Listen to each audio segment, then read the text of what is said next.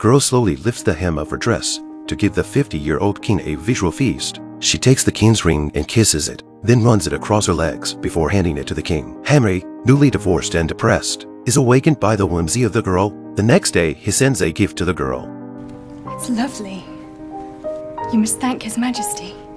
You can thank him yourself.